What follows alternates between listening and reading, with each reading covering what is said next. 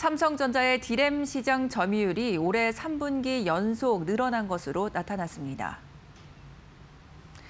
21일 시장조사기관 옴디아에 따르면 삼성전자의 올해 3분기 디램 시장 점유율은 43.9%로 전 세계 1위 자리를 유지했습니다.